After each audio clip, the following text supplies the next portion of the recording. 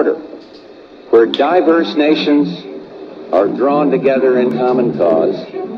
to achieve the universal aspirations of mankind, peace and security,